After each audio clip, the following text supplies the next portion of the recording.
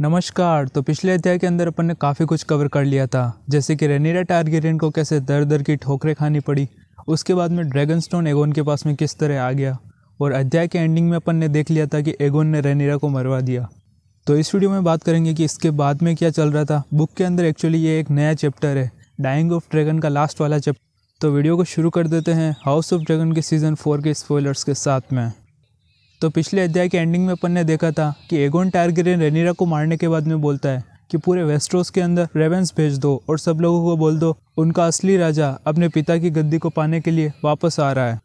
पर चीज़ें इतनी भी आसान नहीं होती। अगर अगर एगोन सेकेंड टारगेरियन असल में राजा होता तो उसके लिए आयरन थ्रोन पर बैठना काफ़ी ईजी होता। रेनीरा भले ही पहले मर चुकी थी, लेकिन ब्लैक्स के सपोर्टर्स आज पूरे वेस्ट्रोस के अंदर पहले की तरह ही है। सबसे बड़ी प्रॉब्लम एगोन टारगेरियन के लिए हाउस वेलेरियन और उसकी फ्लीट्स थी। क्योंकि वो अभी अगर यहाँ से ड्रैगन स्टोन से किंग्स लैंडिंग जाना चाहे तो बीच में ड्रिफ्ट मार्क का आइलैंड आता है और वहाँ पे पूरी हाउस वेलेरियन की फ्लीट्स खड़ी हुई है। इन फ्लीट्स का मालिक, यानी कि सीस ने कोलोस वेलेरियन वो फ़िलहाल अभी किंग्स लैंडिंग के अंदर king trust and true fair जो कि आयरन थोन पर बैठा हुआ है, उसके पास में अभी है। सीस ने किंग्स लैंडिंग के अंदर है एडम बलियन जो कि बड़ा भाई था, वो तो थम्बल टाउन के वहीं मर गया तो फ़िलहाल अभी इन सब फ्लिट्स को कोई कंट्रोल कर रहा था। तो वो उसका छोटा भाई एलन था। एडम वुलरन क्वीन रेनिरा के लिए लड़ते हुए मारा गया और वहीं पे हाउस वुलरन के लीडर कोलस वुलरन को रेनिरा ने ही जेल में डाला था। तो अब हाउस वुलरन किसकी साइड में है? यही सब सोचते हुए एगोन सेकेंड टारगेरियन ड्रिफ्टमार्क एक रेवन भेजता है, जिसके अंदर लिखा हुआ होता है, एलन वलेरियन, अपने असली राजा के सामने उपस्थित हो और मेरे सामने घुटने टेको। अगर तुम ऐसा करोगे तो हम तुम्हारी सारी गद्दारी को माफ़ कर देंगे। गद्दारी मतलब कि इन्होंने ब्लैक्स को ज्वाइन कर लिया था हाउस ने। इसलिए ग्रीन्स के लिए तो वो पूरी गद्दारी है तो अगर फ़िलहाल सिचुएशन को संभल रहे हो तो ड्रैगन स्टोन से किंग्स लैंडिंग अगर किंग एगोन को जाना है तो बीच में ये ड्रिफ्ट मार्क आया हुआ है। और यहाँ से हाउस होल्डर इसको असल में जाने नहीं देगा। इसलिए ये बस इसकी कंडीशन पता कर रहा है कि यह हाउस किसकी तरफ़ है अब। क्वीन रनीरा के मरने के बाद में ही एगोन को इतनी जल्दी भी नहीं थी किंग्स लैंडिंग जाने की। वो सोच रहा था उसका सनफायर ड्रैगन बहुत जल्दी ठीक हो जाएगा और थोड़ी बहुत स्ट्रेंथ आ जाएगी। लेकिन ऐसा कुछ हुआ नहीं। सनफायर के जो गाँव थे, वो दिन ब दिन बड़े होने लग गए और उनमें से अब तो सडन भी हो गई और बदबू आने लगी। कुछ दिनों के बाद में तो जब वो अपने मुँह से आग निकालने की कोशिश करता तो उसमें से बास आती थी और अंत में जाके तो ड्रैगन ने कुछ खाना पीना ही बंद कर दिया। इसी तरह बिना कुछ खाए पीने की वजह से सनफायर ड्रैगन थोड़े दिनों के बाद में मर जाता है। जब एगोन को पता चलता है तो वो रोने लग जाता है और अपना सारा गुस्सा बेला टारगेरियन के ऊपर निकालता है। वो अपने सैनिकों को कमांड करता है। अभी के अभी उस बेला को मेरे सामने पकड़ के लेके आओ। उसी के मून डेंसर की वजह से मेरा ड्रैगन मारा गया है।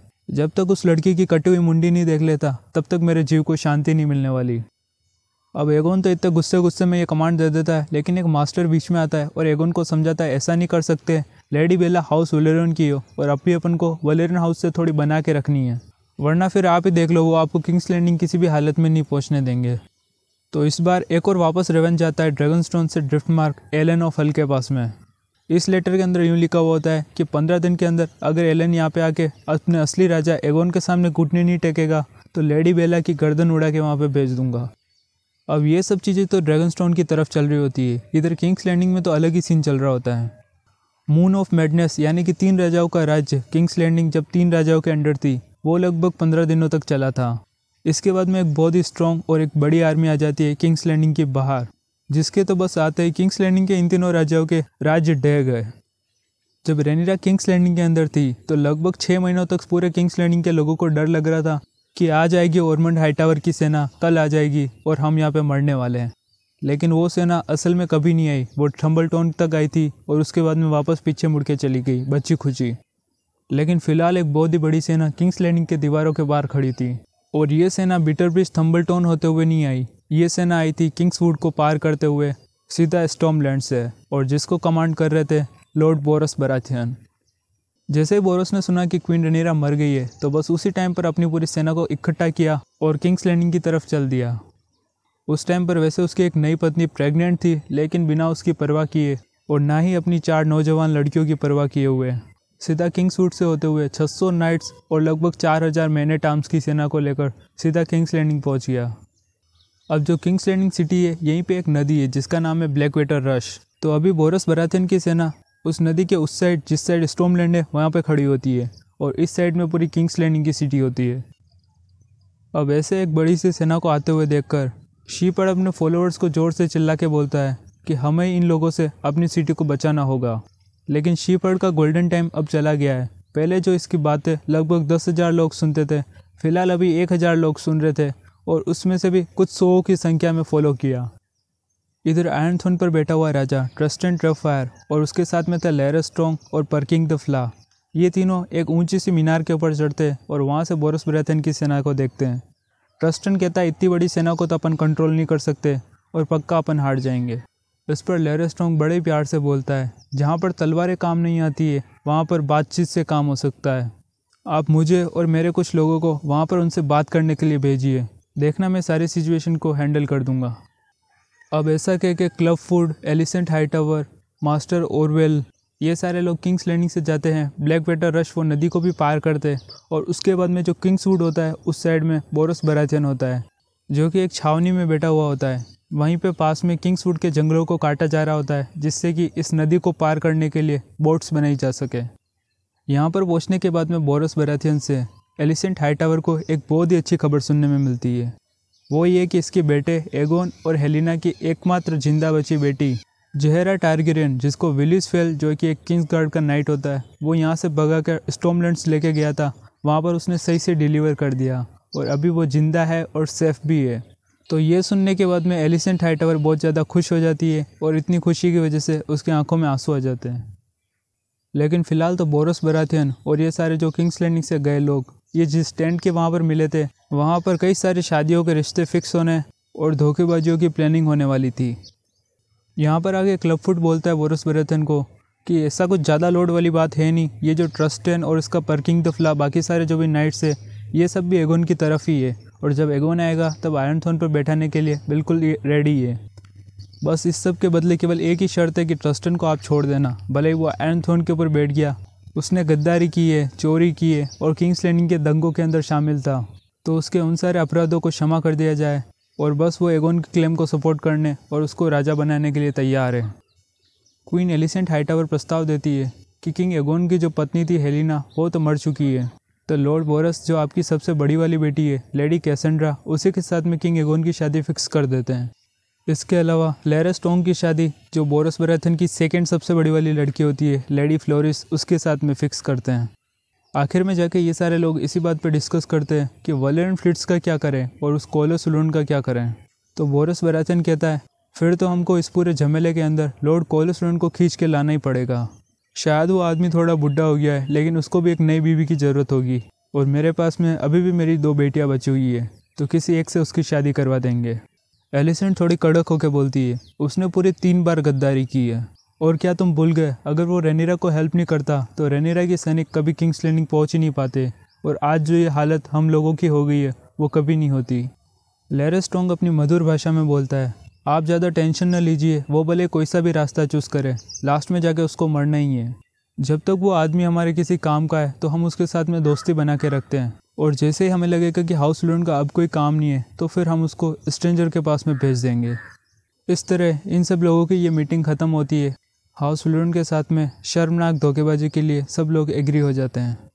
सबसे पहले तो लेर स्टोंग और इसके साथ में जो लोग किंग्स लैंडिंग से गए होते, वो वापस आते किंग्स लैंडिंग के अंदर। और उसके बाद में स्टोमलैंड की सारी सेना भी किंग्स लैंडिंग के अंदर आ जाती है। ब्लैक वेटर रश के वहाँ पर इनसे लड़ने के लिए कोई नहीं आया होता है तो बिना किसी दिक्कत के ये वहाँ से पार कर लेते हैं। लॉर्ड बोरस और उसकी सेना सिटी के अंदर आके देखती है कि सारे के सारे गेट्स खुले हुए हैं, इनको रोकने के लिए कोई बीच में नहीं आ रहा है। सारी गलियाँ स्क्वायर सब जगह खाली है। लोग अपने घरों में छिपे हुए हैं और कोई भी सैनिक इनसे लड़ने के लिए तो आ भी नहीं रहा है। गलियों में कुछ इनके स्वागत के लिए पड़ा हुआ है तो वो केवल लाशें हैं, जो कई दिनों से सड़ रही थी। अब लॉर्ड बोरस और उसके सारे जो हाउस होल्ड नाइट्स होते हैं, वो सब एगोन हिल यानी कि जहाँ पे रेड किप होता है, वहाँ पर आके देखते हैं। तो वहाँ पे भी जो ट्रस्टन होता है, उसके टूटे फूटे जो झंडे होते हैं, उन सबको हटा दिया जाता है तोड़ फोड़ के नीचे डाल देते हैं।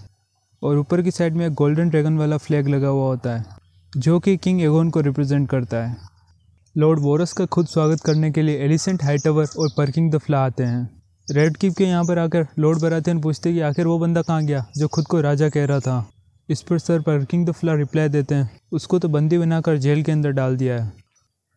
अब अगर तुम्हें पुरानी स्टोरी याद हो तो लॉर्ड बोरस बरातियन रोनिश साइड में गया था थोड़ा लड़ने के लिए। तो रिसेंटली लॉर्ड बोरस और इसकी सेना वहीं पे लड़ रही थी।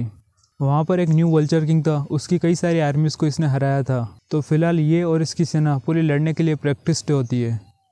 इसीलिए सबसे पहले सिटी के अंदर आकर पुराने जो भी सारे लॉज नियम, न्याय व्यवस्था, वो सारी होती है, उन सबको रिस्टोर करता है। इतने दिनों से सिटी के अंदर अफरा तफरी चल रही है और कुछ रूल्स रेगुलेशन है नहीं तो उन सबको वापस रिस्टोर करता है। जिस दिन को ये रेड किप के अंदर आता है, उस रात को तो एक जश्न का माहौल करते हैं रेड किप के अंदर और सारे ग्रीन्स के लोग पार्टी करते हैं। लेकिन उसके अगली रात से ये अपना काम शुरू कर देता है।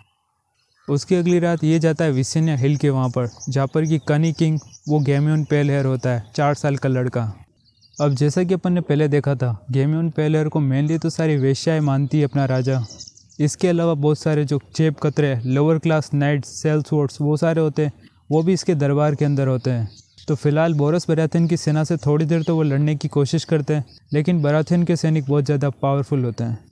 फिर आखिर में उस छोटे से बच्चे गेम्यून पेलेयर को बेड़ियों के अंदर बाँध के, एक घोड़े के पीछे डाल के, किंग्स लैंडिंग के जो रेड किप होता है, उसकी तरफ़ ले जाने लगते हैं। इसकी माँ ऐसी और उसके साथ में जो डोनिशनी होती है, सेल्वेना सेंड, बाकी सारी हॉर्स उस घोड़े के पीछे पीछे भागती है, लेकिन इनको कुछ सफलता हासिल होती नहीं है।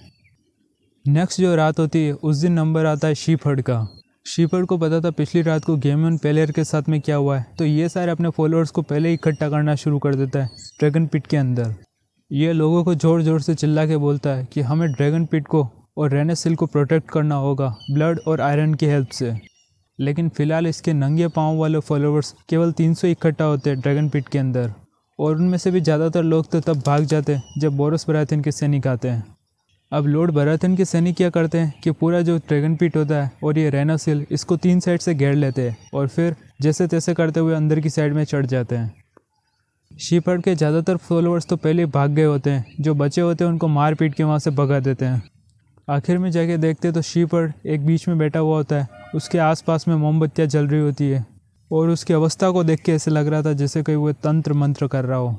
पर फिर भी उसका भाषण अभी भी चल रहा था, जो कि डिस्ट्रक्शंस और डूम के ऊपर है। लॉर्ड बोरस अपने घोड़े पे बैठे हुए वहाँ पर पहुँचते तो वो इसको देखकर अपनी अंगुली इसकी तरफ़ करता है बोरस की तरफ़, और ज़ोर से चिल्ला के बोलता है, इस साल के अंत से पहले अपन दोनों हेल के अंदर मिलेंगे।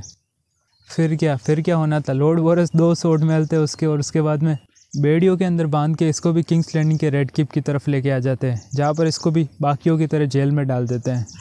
अब फाइनली इतने दिनों के बाद में थोड़ी बहुत शांति बहाल होती है किंग्स लैंडिंग सिटी के अंदर।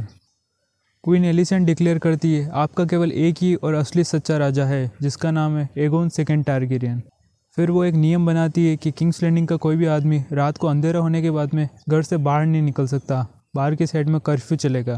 पुराने गोल्ड क्लॉक्स तो तुम जानते ही हो, वो सारे रनीरा के लॉयल थे और उनमें से ज़्यादातर मर भी गए आधे दूरे भाग गए। तो इसीलिए एलिसेंट और बाकी सारे ग्रीन्स ने एक नए गोल्ड क्लॉक्स के समूह का गठन किया, जिसका lord commander Perkin the flea को बनाया गया। इसके अतिरिक्त जितने भी सारे सिटी वॉच के गेट थे, या फिर सैनिक छावनियाँ, जहाँ पर सेना रह सकती है, वहाँ पर सारे लॉर्ड बोरस ब्रैथन के सैनिकों को भेज दिया, जिससे कि अगर कोई ब्लैक्स की सेना आकर किंग्स लैंडिंग के ऊपर अटैक भी कर देवे तो उनसे लड़ने के लिए बोरस की सेना बिल्कुल एग्जैक्ट जगह पर हो। वो तीनों फाल्स किंग जिन्होंने मून ऑफ़ मेडनेस को शुरू किया था। गेमियन पेल हेयर शीफर्ड और ट्रस्टन इन तीनों को काल खोटियों के अंदर डाल देते और बस इसी चीज़ का ये लोग प्रतीक्षा कर रहे होते कि कब एगोन आएगा और इनके ऊपर न्याय करेगा। अब सब कुछ सेट था। ग्रीन्स के पास में पूरी किंग्स लैंडिंग आ चुकी थी और यहाँ पे न्याय व्यवस्था भी थोड़ी बहुत बन चुकी थी। दिक्कत कुछ थी तो वो बस ये थी कि एगोन टारगेरियन जो इनका असली राजा है, वो अभी यहाँ पे नहीं है। वो भी वहाँ पे ड्रैगन स्टोन है तो उसको बस वहाँ से यहाँ पे लाना है।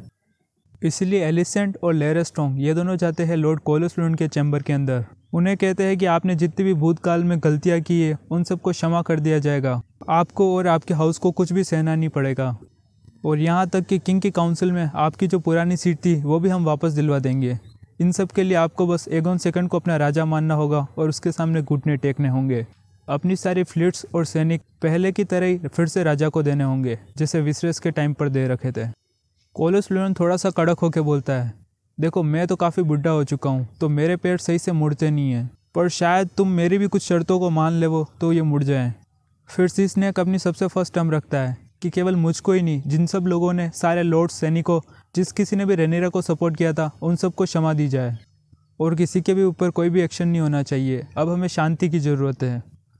सेकेंड टर्म वो रखता है एगोन द यंगर और जहरा टारगेरियन इन दोनों की आपस में शादी करवा दो, जिससे कि आपके हाउस के दो पार्ट्स हो गए, वो भी वापस एक हो जाएँगे। और एगोन द यंगर को एगोन सेकेंड का हेयर घोषित कर दो। फिर वो कहता है, देखो, मुझे तो लॉर्ड बोरस ब्रेथन की कोई सी भी बेटे में कोई इंटरेस्ट है नहीं, मेरी तो उम्र हो गई है। लेकिन आपके बेटे एगोन ने जो ड्रैगन स्टोन पर लेडी बेला को कैद कर रखा है, उसको फ्री करो सबसे फ़र्स्ट अब ये सारी बातें सुनकर एलिसेंट हाईटावर बहुत ज़्यादा गुस्सा हो जाती है। क्योंकि कोलस लोन ऐसा कह रहा था कि उस रेनीरा के बेटे को हेयर बनाओ और उसी से जहरा की शादी कराओ, जिस रेनीरा की वजह से एलिसेंट के तीन में से दो लड़के मारे गए और उसकी प्यारी हेलिना भी। ये तो किसी भी हालत में नहीं चाहती थी कि एगोन द यंगर ज़िंदा भी रहे। फिर वो सी स्नैक को ज़ोर से डांटते हुए याद दिलाती है, क्या आप भूल गए? मैंने पूरी दो बार कोशिश की थी रेनीरा को ये सब समझाने के लिए। तब तो उसने भी कोई शांति की बात नहीं मानी। और अब आप मुझसे उपेक्षा रखते हो। एलिसेंट और सीसनेक को थोड़ा ज़्यादा डांट देती है, लेकिन बीच में लेयर स्ट्रॉन्ग आ जाता है और इसको साइड में कोने में ले जाके बोलता है कि हमने बोरस ब्राथन के पे क्या डिस्कस किया था। अपन को अभी सबसे पहले हाउस लोन की हेल्प की ज़रूरत है। तो चुपचाप जितने भी ये सीसनेक एक बार की शर्त दे रहा है, वो सारी मान लो। बाद में जाके अपन अपने हिसाब से देख लेंगे सीसनेक कितना ही ज़िंदा रहने वाला है। एलिसेंट हाई हाईटावर लॉर्ड कोलोस्ट्रोन की सारी बातों को मान लेती है। फिर अगले दिन सीसनेक उस राज दरबार के अंदर आता है। जहाँ पर कि आयरन थोन से नीचे की साइड में एक चेयर होती है। वहाँ पर एलिसेंट हाईटावर बैठी हुई होती है और अभी इसका बेटा एगोन तो ड्रैगन स्टोन है तो सारा राजकाज उसी के नाम पे ये चला रही होती है। यहाँ पर लॉर्ड ऑफ़ टाइट कोलोस लोन बहुत सारी कस्में वगैरह खाते और बोलते अब से मैं एगोन सेकंड का लोयल हूँ।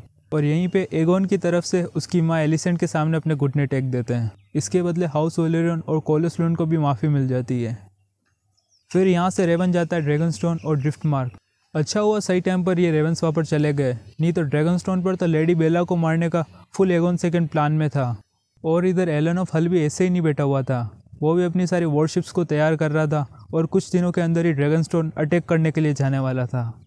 लेकिन बिल्कुल अंत समय पर किंग्स लैंडिंग से यहाँ पर रेवन आ जाते हैं और बता देते कि हाउस वलेरियन और ग्रीन्स के बीच में संधि हो चुकी है। तो फालतू में ऐसे कुछ उल्टी सीधी हरकत करना मत तुम लोग। अब 130 एसी के लास्ट के दिनों में से कुछ एक दिन होता है। जब किंग एगोन सेकेंड टारगेरियन वापस किंग्स लैंडिंग की तरफ़ आता है। इसके साथ में होता है सर मार्स्टोन वाटर, जो कि एक किंग्स गार्ड है। दोनों टॉम्स, अल्फ्रेड ब्रूम और लेडी बेला टारगेरियन भी, जिसको तो फ़िलहाल अभी भी चेंस में डाल रखा था, क्योंकि लोग कहते अगर उसको छोड़ दिया तो वो तो एगोन को उल्टा मार डालेगी। एगोन सेकंड समुद्री मार्ग से आया था, जहाँ पर इसके आसपास में चलने के लिए पूरे 12 वॉरशिप्स का स्कोर था, जो कि हाउस वेल्यूरन से आए हुए थे। अब वो सारे वॉरशिप्स तो बहुत बड़े बड़े थे, लेकिन जिस शिप के अंदर एगोन और उसके सारे रॉयल मेंबर्स आ रहे थे, वो शिप बहुत ही छोटा था, जिसका नाम था माउस जिसको अपन ने स्टोरी में पहले भी देख रखा है। एडम और एलन की मानी होती है माउस उसी का एक जहाज़ होता है, जिसका नाम भी होता है माउस वो शिप साइज़ में काफ़ी ज़्यादा छोटा होता है और फ़िलहाल उसको मरिल्डा ही चला रही होती है। अब मशरूम अपन को बताता है, अगर लॉर्ड एलन चाहता था तो हाउस विलियन के ड्रिफ्ट मार्क से बहुत बड़े शिप को भी भेज सकता था, जिसके अंदर एगोन ड्रैगन स्टोन से वापस किंग्स लैंडिंग आ सके। इसके लिए वो lord Anton's glory, morning tide, spice town girl, ये सारे शिप भेज सकता था, जो साइज़ में बहुत ही ज़्यादा बड़े। लेकिन फिर भी उसने एक छोटा सा शिप भेजा। इसका कारण है कि लॉर्ड एलन असल में कुछ एगोन को पसंद करता नहीं होता है, और वो नहीं चाहता था कि एगोन सेकेंड टारगेरियन वापस किंग्स लैंडिंग के अंदर शान व शौकत से जाए एक बड़े से शिप के अंदर। वो चाहता था एगोन टारगेरियन कैसे छिपा हुआ और एक छोटे से शिप के अंदर किंग्स लैंडिंग के अंदर घुस रहा है। कैसा डरपोक आदमी है, ऐसा वो दिखाना चाह रहा था। इसीलिए तो एगोन का खुद का शिप छोटा था और बाकी सारे वॉर शिप्स बड़े बड़े आए थे बारह उसके साथ में। पर जो भी हो एगोन सेकेंड जब किंग्स लैंडिंग छोड़ के यहाँ से भागा था, तब उसने ऐसा बिल्कुल नहीं सोचा होगा कि फ्यूचर में कभी मेरी वापस सिटी के अंदर एंट्री हुई तो वो कैसे होने वाली है। चुपचाप वो रिवर गेट से सिटी के अंदर की साइड में घुस जाता है और उसके बाद में इसको एक पालकी के अंदर ढो के रेड कीप की तरफ़ ले जाया जाता है। इसके स्वागत में लिटरली किंग्स लैंडिंग का एक भी आदमी बाहर नहीं आता है। सारी की सारी सिटी खाली पड़ी हुई होती है। सारी गलियाँ खाली की खाली होती है। दुकानें लूटी हुई होती है। लोगों के घर जले हुए होते हैं। लेकिन कोई भी आदमी इसके स्वागत में कहीं नहीं खड़ा होता है। लोगों की जो मरी हुई लाशें थी, उनकी सफ़ाई तो फिर भी हो चुकी थी, लेकिन फिर भी उनका मांस नीचे गिरा हुआ होता है। तो कुल मिलाकर एगोन की एक बकवास सी एंट्री होती है रेड किप के अंदर। आयरन थ्रोन काफ़ी ऊँचा था। तो वहाँ पर चढ़ने के लिए चलना पड़ता है, लेकिन एगोन की टांगें तो टूट चुकी है। तो फ़िलहाल ये भाई साहब ऊपर चढ़ नहीं सकते। तो उसने एक अलग से नई चेयर बनाई, जो कि लकड़ी की थी और इसके बैठने के लिए थोड़ी कंफर्टेबल भी। जिसको आयरन थोन की सीढ़ियों के वहीं पे रखा जाता था और वहीं पे एगोन बैठता था। इसके टूटे हुए पैरों के ऊपर एक ब्लैंकेट को डाल दी जाती थी और इस तरह इसने अपना शासनकाल शुरू किया। सब सोच रहे थे एगोन इतनी लंबी यात्रा से आया ठे ड्रैगन स्टोन से किंग्स लैंडिंग शिप के थ्रू आया फिर भी। इसके पूरे बॉडी के अंदर पेन होता है और पाँव भी टूटे हुए हैं। तो कुछ लोग आइडिया देते हैं कि तुम्हें बेड चैम्बर के अंदर जाके रेस्ट करना चाहिए, या फिर मिल्क ऑफ़ पॉपी पीना चाहिए, लेकिन ये उन चीज़ों के लिए मना कर देता है। ये कहता है, सबसे पहले तो मैं उन लोगों का न्याय करूँगा जो मेरे अब्सेंस में या पे किंग्स लैंडिंग में राजा बने हुए थे, यानी कि वो तीनों लोग। सबसे पहले इसका कोई गुस्सा जलता है तो वो होता है ट्रस्टिन जिसको ये मौत की सज़ा देता है। अब तुम्हें याद हो तो पर्किंग द फ्ला वही नाइट है जिसने ट्रस्टिन उसका स्क्वायर होता है, उसी को राजा बना दिया था। लेकिन फ़िलहाल Perkin the flea cold flock का कमांडर बन चुका है। तो यहाँ पर ट्रस्टन को जब आयरन थोन के यहाँ पर पकड़ के लेके आते हैं तो एगोन तो आयरन थोन के ऊपर बैठा हुआ होता है और पास ही में पर्किंग द फ्ला होता है। ये देखते ही ट्रस्टन के तो दिल के धड़कने बाहर निकल जाती है कि ये बंदा तो मेरे साथ में था एगोन के साथ में क्या कर रहा है। पर अब कुछ भी नहीं हो सकता था। ट्रस्टन समझ जाता है कि पार्किंग ने खुद को बचाने के लिए मेरी बलि दे दी है। वो एगोन के सामने कोई दया की भीख नहीं माँगता है, लेकिन वो कहता है, मेरी एक आखिरी इच्छा है। उसकी आखिरी इच्छा होती है कि उसको बस एक बार नाइट बनना है। फिर सर मार्स्टोन रिवर, जो कि एक क्यूंस गार्ड का मेंबर है, वो सारी वो रस्में करता है जिस, जो एक नाइट को बनने के लिए करनी पड़ती है। और जब वो नाइट बन के कंप्लीट हो जाता है तो ट्रस्टन की गर्दन अल्फ्रेड ब्रूम उड़ा देता है। अल्फ्रेड ब्रूम किंग एगोन की तलवार ब्लैक फायर को लेता है और इसकी गर्दन उड़ाता है। इसके बाद में गेमियन पेल हेयर उसको पकड़ के लेके आते हैं एगोन के सामने। लेकिन इसका फ्यूचर थोड़ा सा ब्राइट था। अब ये बच्चा काफ़ी छोटा था और इसको खुद को भी समझ में नहीं आया होगा कि मैं राजा बन गया हूँ। यही सब सोचते हुए एगोन इसको दया दिखा देता है। लेकिन फिर एगोन कहता है, इसके साथ में और कौन था? इसकी माँ एसी जो इसके नाम पे राजकाज चला रही थी। उसको और सेल्वेना सेंट, वो जो पैरामर होती है डोर्निश साइड की, इन दोनों को पकड़ के राज दरबार में लाया जाता है। यहाँ पर ये गेमियन की मदर ऐसे यहाँ पे कंफर्म कर लेती है, इतने दिनों से इसको टॉर्चर किया था कि ये कैसे एगोन का लड़का है। तो फिर ये बता देती है लेस से भी एक आदमी आया था, उसके भी सिल्वर हेयर थे और उसी से ये लड़का मेरे पैदा हुआ। लेकिन मुझे पावर चाहिए थी, इसलिए मैंने इसको एगोन सेकेंड का बास्टर लड़का बताया सभी को। फिर एगोन कमांड करता है एसी और सलवेना सेंट ये दोनों तो मेरे ब्लैक फायर से कटने के लायक भी नहीं है। इन दोनों लो क्रिएचर्स को तो फांसी के ऊपर लटका दो। इन्हीं के साथ में 27 और भी मेंबर्स होते हैं जो कि आधे दारूडी होते हैं आधे सेल्सोर ममर्स वगैरह फालतू फालतू लोग। जो सब भी गेमियन पेल हेयर के कुछ ज़्यादा ही सपोर्टर होते हैं तो उन सबको भी वहीं पे फांसी पे लटका दिया जाता है। सबसे लास्ट में नंबर आता है शीफड़ का। उसको पकड़ के लेके आते हैं आयरन थोन के सामने। वो तो उल्टा अपनी गलती मानने को तैयार ही नहीं होता है। वो बोलता है, मैंने जितने भी काम किए, वो सारे प्रभु की इच्छा से किए। फेथ ऑफ़ सेवन ही असली सच्चाई है, और मैंने उन्हीं की परमिशन से ये सब किया। फिर वो एगोन सेकंड के थोड़ा सा पास में आकर ज़ोर से चिल्ला के बोलता है, इस साल के अंत में अपन दोनों नर्क के अंदर मिलेंगे। अगर तुम्हें याद हो तो ये सेम वही वर्ड है जो इसने जब बोरस थे, इसको पकड़ने के लिए आया था, तब उसको भी बोले थे। तो फिर अब क्या होना था? एगोन की सटक जाती है। वो अपने नाइट्स को बोलता है कि इसकी तो जवान काट दो। फिर नाइट्स आते और फिर एक गर्म सी संडासी से इसकी जीप काट के बाहर निकाल देते हैं। इसको भी मौत की सज़ा मिलती है, लेकिन इसका मैनर थोड़ा सा डिफरेंट होता है। इसके साथ में मौत की सज़ा इसके 241 और फॉलोअर्स को भी मिलती है, जो कुछ ज़्यादा ही कट्टर होते हैं। अब कोबलर स्क्वायर से रहने सिल, जहाँ पर कि ड्रैगन पीट है। वहाँ तक पूरी जो रोड होती है, वहाँ पे रोड के साइड साइड में क्या पोल्स लगे हुए होते हैं। तो हर एक पोल के ऊपर इस शीफर्ड के जो फॉलोअर होते हैं, उसको एक एक को बाँध दिया जाता है। ऐसे करते करते ये पूरी रोड कवर हो जाती है और सबसे लास्ट में बनता है शीफर्ड खुद, जो कि रेना सिल ड्रैगन पिट के वहाँ से थोड़ा सा पास में होता है। अब ये दिन शायद 130 ऐसी का आखिरी दिनों में से एक था। तो 130 का साल जा रहा होता है और एक नया साल आने वाला होता है। इसी की खुशी में सारे सेफ्ट से यही चीज़ बताने के लिए सारे सेफ्ट से एक साथ में घंटियाँ बजना शुरू होती है बड़े बड़े घंटे। पूरी सिटी के अंदर शोर मच जाता है और वो सारे दो सौ इकतालीस फॉलोअर्स एक एक पोल के ऊपर बंधा हुआ होता है। फिर एगोन सेकेंड टारगेरियन और इसके कुछ एक नाइट्स होते हैं। ये जाते हैं कोबलर स्क्वायर से ड्रैगन पिट की तरफ़। एगोन के नाइट्स एक एक पोल पे बंधे हुए आदमी को जला रहे होते हैं और लास्ट में जाकर जब शीफर्ड का नंबर आता है, तब एगोन को इसके नाइट्स हेल्प करते और ये अपने हाथों से उसको आग जलाता है। तो अगर तुम समझ गए हो तो शीरीन, वो नहीं थी क्या? लॉर्ड स्टेनिस की छोरी। उसी की तरह 241 फॉलोअर्स और एक उस शिफर्ड इन सबको ज़िंदा जला दिया गया। और मेरे पर्सनल विचार में ज़िंदा जलना सबसे ख़राब मौत होती है। अब रेनीरा मारी जा चुकी थी। वो सारे मून ऑफ़ मेडनेस वाले किंग्स वो तीनों भी मर चुके थे। रेनीरा के ड्रैगन्स मर चुके थे। लेकिन फिर भी हिस्ट्री अकाउंट्स कहते कि अभी भी वेस्ट्रोस के अंदर पीस नहीं आई थी। एगोन सोच रहा था कि रेनीरा का लड़का तो मेरे पास में कैद है। एगोन द यंगर को मैंने कैद कर रखा है। तो रेनीरा के सारे सपोर्टर्स धीरे धीरे शांत पड़ जाएँगे। लेकिन वेस्ट्रोस में तो इसका उल्टा ही हो रहा था। लॉर्ड कोलस विलरन एगोन को बार बार बोल रहे थे, जिसने भी रेनीरा की साइड ली थी, उन सबको क्षमा कर दो, केवल यही रास्ता है पीस बनाने का। पर एगोन के दिमाग में कोई माफ़ी नहीं चल रही थी, और ना ही उसकी माँ एलिसेंट के दिमाग में। इन दोनों के दिल दिमाग में बस यही भरा हुआ था कि हमें वापस बदला लेना है, उन सभी लोगों से जिन्होंने रेनीरा की साइड ली थी इस वॉर के अंदर। तो सबसे पहले एगोन अपने सोल्जर्स और जो बोरस बराथन की सेना होती है, उनको भेजता है क्राउनलैंड्स के अंदर। अटैक करने के लिए कहता है रोप से स्टोकवर्ती और डुशकेंडल इन्होंने रेनीरा की तरफदारी की थी और उसको शरण भी दी। तो इन सब का इलाज करके आओ।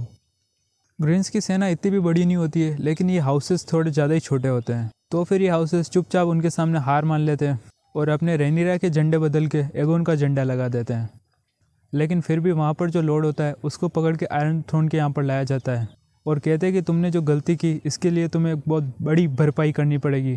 तुम्हें बहुत सारा पैसा देना पड़ेगा हमको। और तुम्हारी लॉयल्टी इंश्योर करने के लिए तुम्हारे हाउस के कुछ एक बड़े होस्टेजेस यहीं पे रहेंगे। पर एगोन और इसकी माँ एलिसेंट का वापस इसे बदला लेना, ये बिल्कुल गलत आइडिया था। और थोड़े ही दिनों में ये इनकी सबसे बड़ी मिस्टेक प्रूव हो गई। अब तो रेनीरा और ब्लैक्स के सारे सपोर्टर्स के अंदर एक अलग ही जान फूक दी थी। गुप्तचर नॉर्थ की तरफ़ से सूचना लाने लगे। White Harbour Barrowton Winterfell वहाँ पे बहुत बड़ी बड़ी सेना इकट्ठा हो रही है। सारे लॉर्ड्स नाइट वहाँ पे इकट्ठा हो रहे हैं और विंटरफेल की एक बहुत बड़ी सेना यहाँ पर आएगी। इधर विंटरफेल के इधर ग्रोवर टर्ली जो पूरे डांस ऑफ़ ड्रैगन के टाइम पर ज़िंदा रहा था, वो बुढ़ा सा आदमी फाइनली वो मर जाता है। फ़िलहाल तो वैसे उसके मरने से पहले ही एल्मो टर्ली सारा राजकाज चला रहा होता है, लेकिन अब ऑफिशियली भी इसके पास में आ जाता है। तो ये अपने सारे रिवलेंट्स के लॉर्ड्स को बोलता है देखो, अपन ने भी थम्बलटोन के वापर और उससे भी पहले बहुत बार रेनीरा और ब्लैक्स की तरफ़ से लड़े हैं। तो ग्रीन्स की सेना यहाँ पर भी अटैक करने के लिए आएगी। तो या तो सब जने एक हो जाओ और एगोन ख़त्म, या फिर एक एक करके सब लोग मरो। पर रिवेलेंट्स के लोग और लॉर्ड यहाँ के लोग तो कुछ ज़्यादा ही रेनीरा को पसंद करते होते हैं। इनको बस एक लीडर की ज़रूरत होती है। पिछली बार जो एडम वल्यूरन था, अब वो उनका लीडर मर चुका था। तो बस एल्मो टर्ली ने कहा एक साथ में आने के लिए तो सब वापस आ जाते हैं। वो चौदह साल का लड़का बेंजी कोट ब्लैकवुड आ जाता है। उसके साथ में उसकी एक आंट आती है, जिसका नाम होता है ब्लैक एले अगर तुम स्टोरी में भूल गए हो तो ब्लैक एले ने पहले भी एक शानदार कांड किया था।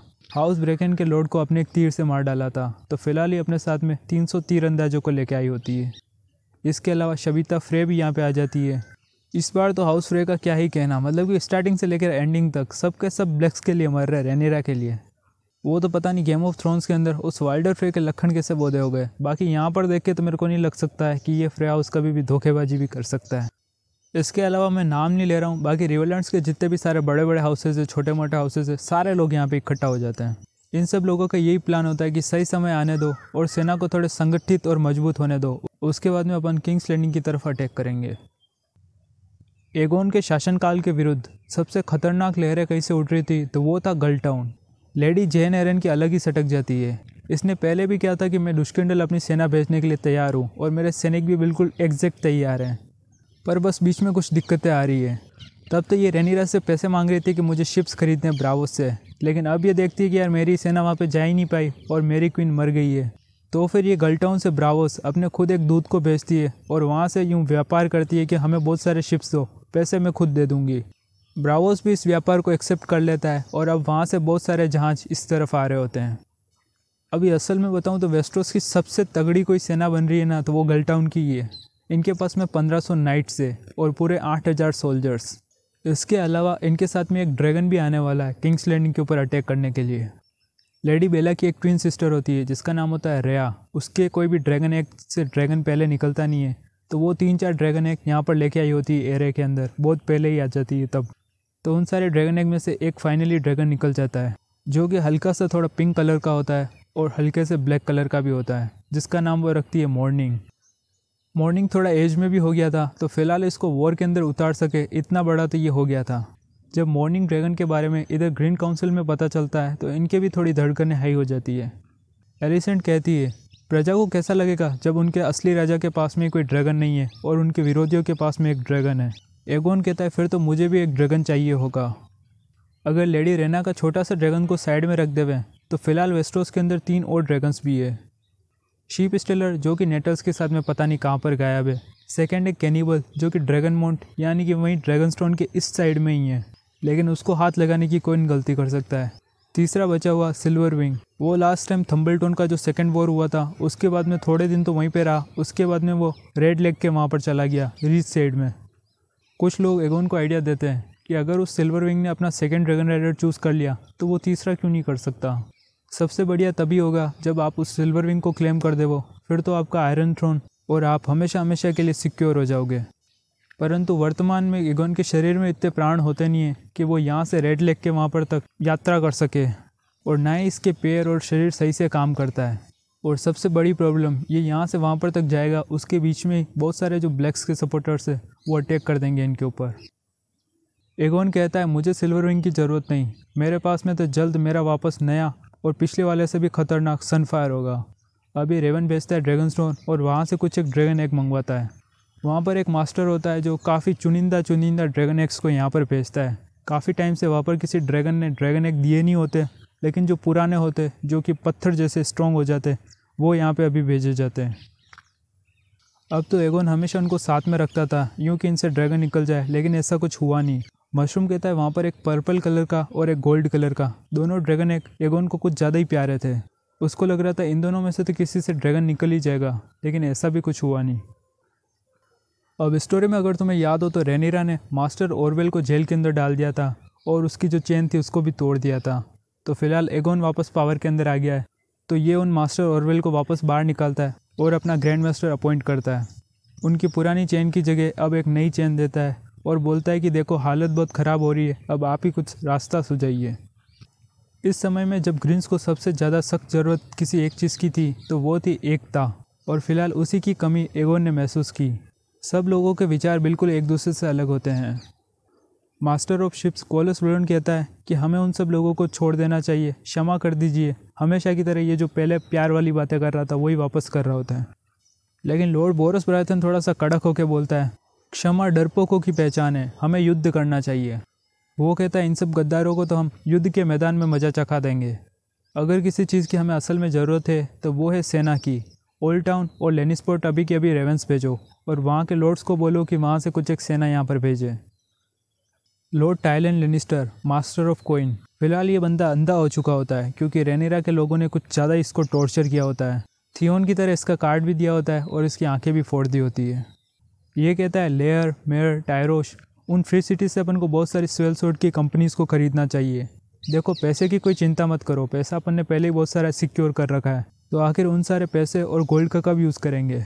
हमारे पास में सेना नहीं है तो बस वहीं से सेना मंगा लेते, और क्या चाहिए? लॉर्ड कोलस को इन दोनों के सजेशंस बिल्कुल बकवास लगते हैं। वो कहता है ओल्ड टाउन और लेनिस्पोर्ट वहाँ की गद्दी पर अभी बच्चे बैठे हुए हैं और उनसे बहुत जल्दी कोई सेना बन जाएगी, ऐसा तुम एक्सपेक्ट भी कैसे कर सकते हो? और रही बात फ्री सिटी से सेल्सोर्ड की कंपनीज़ को मंगाने की तो वो सही टाइम पे कभी भी पहुँच नहीं पाएगी। सबसे भारी सेना हाउस एरन की तरफ़ से आ रही है और मुझे पता है वो ब्राउसी शिप को लेके आएँगे। मेरे पास में इतनी सेना तो नहीं है कि उनको रोक पाऊँ, लेकिन मेरे शिप्स उनको ज़रूर रोक देंगे। हाउस एरन को तो अपन रोक लेंगे, लेकिन तब क्या होगा जब विंटर आएगा? वो दस हज़ार बर्फीले स्टाक्स और रिवरलैंड्स के लॉर्ड्स, जब पूरी की पूरी सेनाएँ यहाँ पर आके अटैक करेगी, तब आप उनको कैसे रोकोगे? अभी भी मैं कह रहा हूँ, मेरी बात को मान लो। हमें उन विद्रोहियों से, बातचीत से फैसला निकालना चाहिए, वरना युद्ध में तो अपन उनसे नहीं जीत सकते हैं। एगोन को अपना हेयर बनाओ और प्रिंसेस जहरा से उसकी शादी कराओ। केवल यही रास्ता है पूरे वेस्टोस में वॉर को रोकने के लिए। उस वृद्ध क्लोड कोलोसलोन के वचन जिन कानों पे पड़े थे, वो बहरे थे। ग्रीन काउंसिल का लिटरली एक भी आदमी इसकी बात को मानने को तैयार नहीं था। अब अगर तुम्हें पुरानी स्टोरी याद हो तो फिर जब स्टार्टिंग में कोलोसलियन और एलिसेंट हाइटावर, लेरेस्टोंग ये जब आपस में बात करते, तब सीसनेक का जीव रखने के लिए एलिसेंट हाँ कर देती है कि जहरा और एगोन द यंगर इन दोनों के अभी अपन सगाई करा देते हैं, उसके बाद में शादी भी करवा देंगे। लेकिन फ़िलहाल हाउस होल्डर से थोड़ा बहुत काम निकल चुका था। एगोन अब किंग्स लैंडिंग के अंदर है। तो एगोन ऐसा कुछ भी मूड के अंदर नहीं होता है। वो किसी भी हालत में अपनी बेटी की और एगोन द यंगर की शादी नहीं करवाना चाहता होता है। फ़िलहाल तो उसका प्लान होता है कि वो लेडी कैसेंड्रा के साथ में शादी कर देगा। वो जो बोरस पैराथिन की सबसे बड़ी वाली बेटी है। और उसके बाद में उससे इसको कई सारे बच्चे पैदा हो जाएँगे, जिनमें से कुछ सन्स भी होंगे। तो फिर आयरन थ्रोन का हेयर तो ये किसी भी हालत में एगोन द यंगर को नहीं बनाने वाला। अब यहाँ पर ग्रीन काउंसिल चल रही होती है और सब लोग बैठे हुए होते हैं। King Aegon Aegon the younger के बारे में बोलता है। अगर वो लड़का चाहे तो नाइट वॉच को ले सकता है और अपना पूरा बाकी का जीवन वहीं पे जाके बिता सकता है। इसके अलावा उसके पास में एक और ऑप्शन है। उसका कार्ड दिया जाएगा और उसके बाद में वो मेरे यहाँ पे एक सर्वेंट के रूप में रह सकता है। अब ये उसकी चॉइस है कि आगे वो जीवन जीने का कौन सा वाला रास्ता चुनेगा। वो कोई सा भी रास्ता चुने, पर आखिर में जाके उसके कोई भी बेटा बेटी नहीं होना चाहिए। मैं चाहता हूँ कि मेरी हाफ़ सिस्टर रेनीरा का वंश यहीं पे ख़त्म हो जाए। टाइलन लेनिस्टर जो दिखने में थोड़ा ठीक ठाक था, लेकिन उसके विचार तो इससे भी खतरनाक थे। वो कहता है, इसको तो अभी के अभी मार देना चाहिए। एगोन द यंगर रहने के लायक ही नहीं है। किंग एगोन, उसकी हर एक सांस आपके सिंहासन आयरन थ्रोन के ऊपर आँच लेके आएगी। मैं कहता हूँ, अभी के अभी उसका सिर काट देना चाहिए। उससे क्या होगा, जो भी ये सारे ब्लैक्स को सपोर्ट करने वाले और ये जो गद्दार लोग हैं, वो सब भी शांत पड़ जाएँगे। जब उन्हें दिखेगा कि उनकी रानी तो पहले ही मर चुकी है और जिस किसी को वो राजा बना सकते, वो भी मारा जा चुका है तो ये लोग स्वयं ही अपने घर चले जाएँगे। लॉर्ड कोलसमैन जब ये बात सुनता है तो वो बिल्कुल डर जाता है। वो देखता है इन सब ग्रीन्स के दिमाग में पता नहीं क्या चल रहा है। मैं तो यहाँ पर वेस्टोस में आने वाले वॉर को रोकने की और शांति प्रिय बातें कर रहा हूँ, लेकिन इनको तो लड़ने की कुछ ज़्यादा ही पड़ी हुई है। वो उस स्मॉल काउंसिल में अपनी सीट से खड़ा हो जाता है और चिल्ला के कहता है, आप सब लोग अपने गुस्से में पागल हो रहे हो। इस स्मॉल काउंसिल में केवल पागल, झूठे और ओत प्रेकर लोग ही है। तुम में से कोई भी आदमी सम्मान के लायक नहीं है। ऐसा कह के जहाँ पर वो स्मॉल काउंसिल हो रही होती है, उस जगह से वो बाहर निकल जाता है और चुपचाप अपने चैम्बर की तरफ़ चला जाता है। तो इस अध्याय को अभी यहीं पे रोक देते हैं, क्योंकि ये काफ़ी लंबा भी हो चुका है, और आगे का चैप्टर इस अध्याय के अंदर कवर हो ही नहीं सकता। और मुझे भी नॉर्थ के अंदर जाना है, और क्रिगन स्टार को इस बार तो पकड़ के लेके आना है। इस बार तो देख लेना, मैं किसी भी हालत में स्टाक्स को अगले अध्याय के अंदर लेके आ ही जाऊँगा। नहीं लेके आ पाऊँ तो मेरा नाम बदल देना, ठीक है? तो मिलते हैं अगले अध्याय के अंदर, जहाँ पर अपन तुम्हारे बहुत ही ज़्यादा प्रिय जीव की जड़ी एगोन सेकेंड टारगेरियन जिसको तुम बहुत ज़्यादा ही पसंद करते हो, उसको सीधा मरवा देंगे। बहुत बहुत धन्यवाद।